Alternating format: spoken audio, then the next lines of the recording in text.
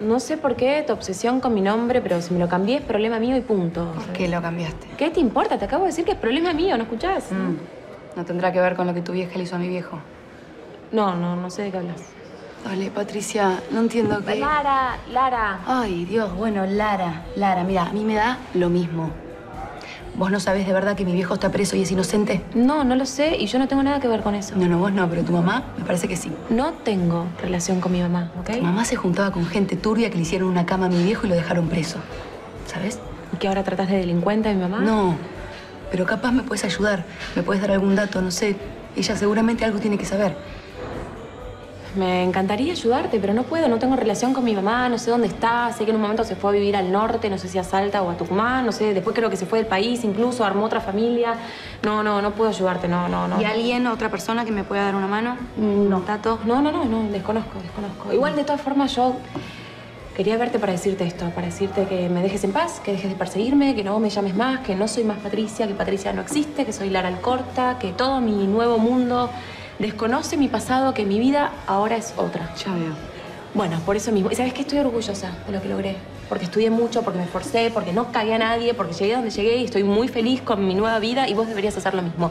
Dejar el pasado atrás, dejar una vida horrible atrás y mirar para adelante. Yo no puedo hacer eso porque no me puedo olvidar de mi papá. Porque es inocente y está preso. Es una lástima que no me puedas dar una mano vos, tampoco. Bueno, si querés, te, te- con lo único que te puedo ayudar es retirándote la denuncia. ¿Querés que te la retire? Sí. Bueno, bueno, listo, te, te la retiro. Bueno.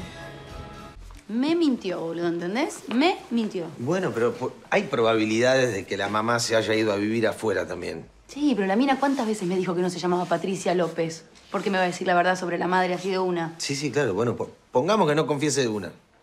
¿Qué problema hay? No, por eso está bien, por eso le hice un todo bien porque me retiró la denuncia, pero la vieja está y yo la voy a encontrar. Podés parar. No, podés parar. pero ¿por qué? Bueno, tranquila. Ya tranquila. está. ¿En qué andamos, Renata? ¿En qué andamos usted y yo? En nada. No te hagas la tonta. ¿Qué te dije yo con eso de andar persiguiendo a esta mina Lara Alcorta? Jefe, no hice nada yo, ¿eh? Sí, porque no te pasaron un solo dato. Porque pediste informes de ella, de la madre. ¿Vos de verdad querés que los de asuntos internos entren por esa puerta? ¿De verdad? ¿Vos fuiste a, a se- a seguirla a ella? ¿Fuiste a la empresa?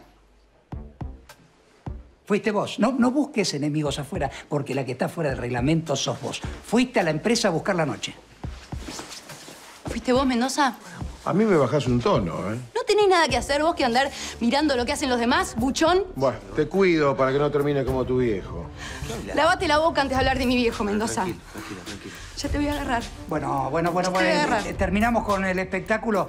Vas a tener que bajar un poco. Estás suspendida, Renata. No, jefe, ¿me estás jodiendo? ¿Vos, vos, me- vos, vos, vos te estás refiriendo así a tu superior? Vos tenés que bajar los humos, Renata. Te vas a ir a tocar la guitarrita, anda a cantar un poco, baja los humos y cuando estés más tranquila te reincorporo. Basta. Lo que tenés ahí que asoma es bastante caro, ¿no? No te lo habrá regalado Méndez, ¿no? Se nota que acá la China está muerto con vos. No lo juzgo, ¿eh? Yo si fuese tu compañero, estaría igual. Sí, eso. A ver, son todos mafiosos. ¿No ves que sacan a cualquiera de acá adentro? ¿Qué te pensás, que se conocen de la cola del súper? ¿O qué pasa? ¿Esos ojitos celestes no te dejan pensar? Lorenzo quedó idiota del golpe, pero idiota de verdad. Pues estos canas lo están apretando.